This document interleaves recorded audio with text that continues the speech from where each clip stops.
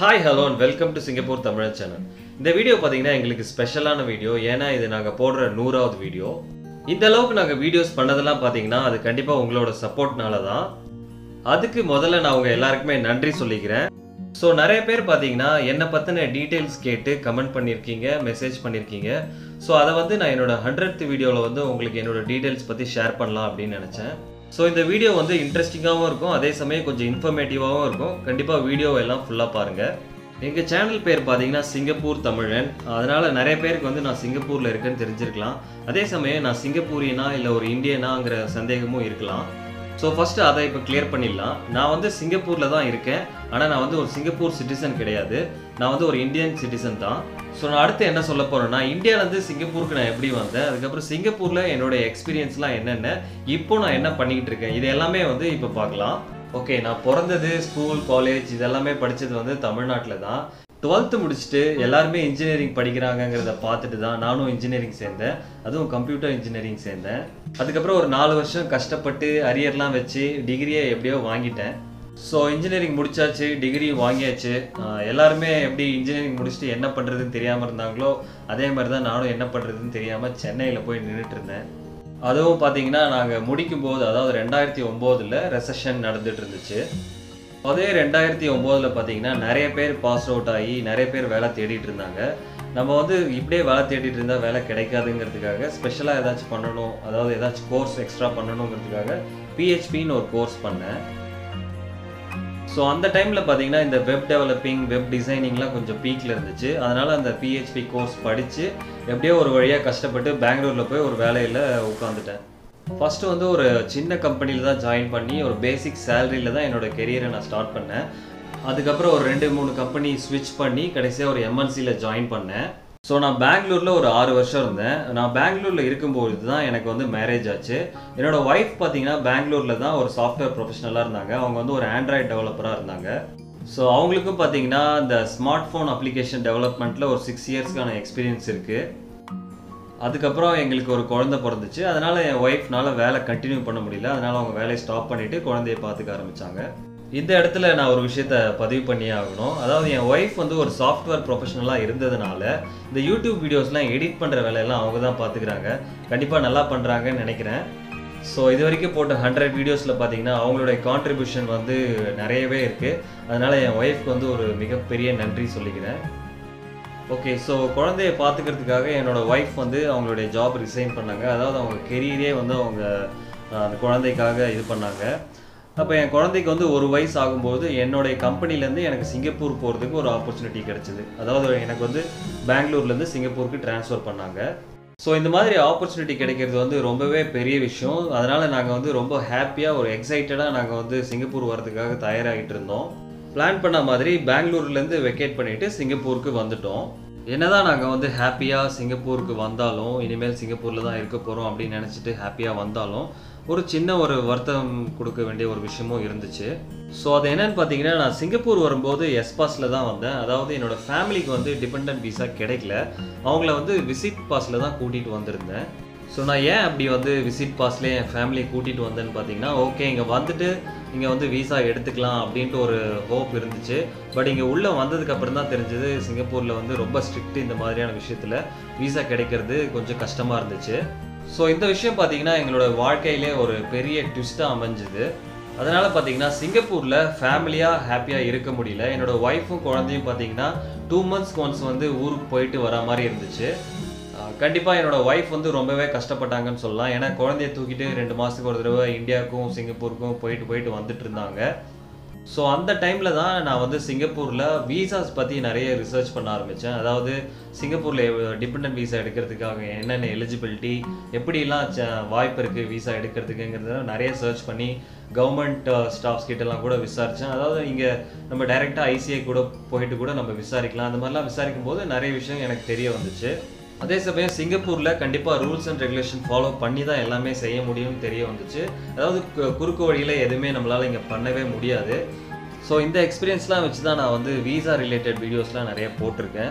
அதுக்கப்புறம் என்ன தெரிய வந்துச்சுன்னா ஸோ நம்ம டிபெண்ட் வீசா வாங்கணும் அப்படின்னா அந்த சேலரி வந்து நம்ம வாங்கியே ஆகணும். அந்த டைமில் தான் நான் வந்து வேலை தேட ஆரம்பித்தேன் சிங்கப்பூர் வந்து ஒன் இயர் கழித்து நான் வேலை தேட ஆரம்பித்தேன் ஸோ இன்பிட்வீன் பார்த்தீங்கன்னா சில பேர் சொன்னாங்க அதாவது ஸ்டூடெண்ட் விசா குழந்தை கிடைச்சிதுன்னா அதை வச்சு மதருக்கு வந்து லாங் டேர்ம் விசா வாங்கலாம் அந்த மாதிரிலாம் ஐடியா கொடுத்தாங்க.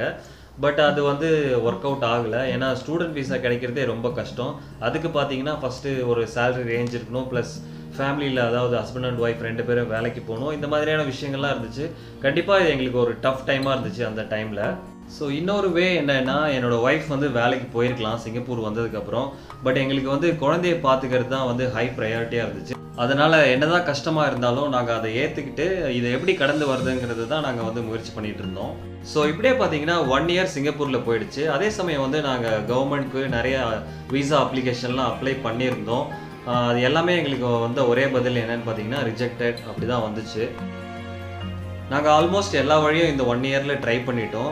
அடுத்தது இருக்க ஒரே வழி என்னன்னு பார்த்தீங்கன்னா இந்த டிபெண்டன்ட் விசா கிடைக்கிறதுக்கான எலிஜிபிலிட்டி க்ரைட்டேரியாவை நம்ம மீட் பண்ணுறது தான் அதாவது நான் இங்கே சிங்கப்பூர் இருக்கிற டைமில் வந்து டிபெண்டன்ட் விசா கிடைக்கணும்னா சேலரி வந்து சிக்ஸ் தௌசண்ட் டாலர்ஸ் வாங்குற மாதிரி சொல்லியிருந்தாங்க.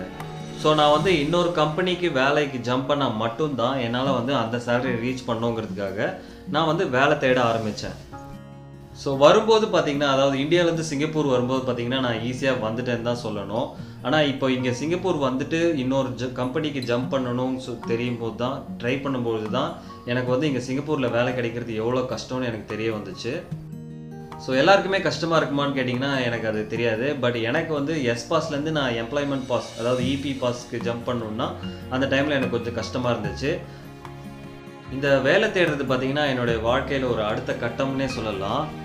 ஸோ நான் ஒரு மாதம் ரெண்டு மாதம் வேலை தேடல. கிட்டத்தட்ட ஆறு ஏழு மாதமாக வேலை தேடிட்டு இருந்தேன்.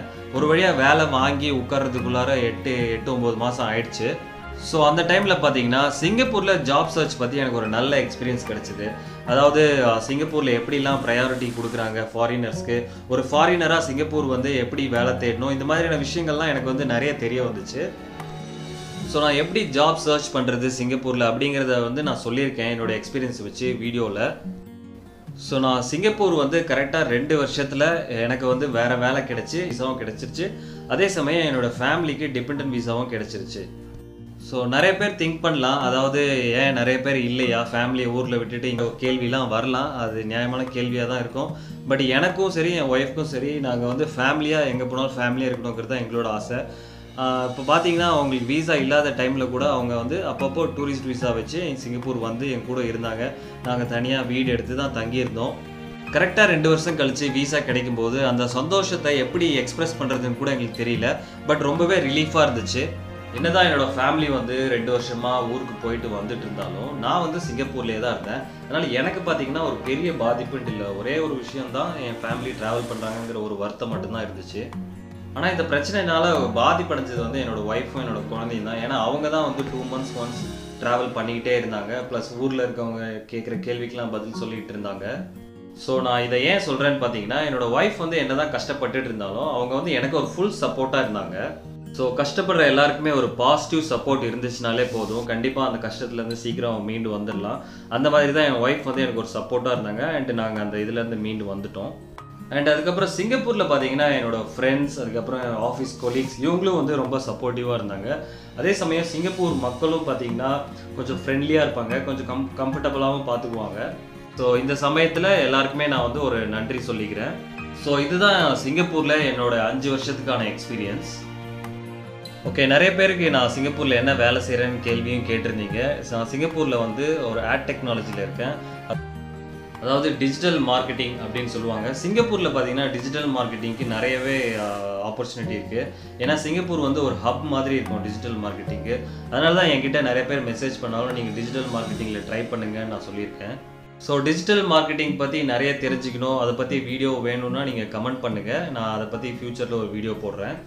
ஸோ யூடியூப்பில் நாங்கள் எப்படி வந்தோம் அப்படின்னு பார்த்தீங்கன்னா என்னோட ஒய்ஃப் வந்து நான் ஆல்ரெடி சொல்லியிருக்கேன் அவங்க ஒரு ப்ரொஃபஷனல் அவங்க வந்து இங்கே சிங்கப்பூரில் ஃப்ரீ டைமில் என்ன பண்ணுறதுன்னு யோசிச்சுட்டு இருக்கும்போது யூடியூப்பில் ஒரு சேனல் ஸ்டார்ட் பண்ணலாம் அப்படின்னு தோணுச்சு.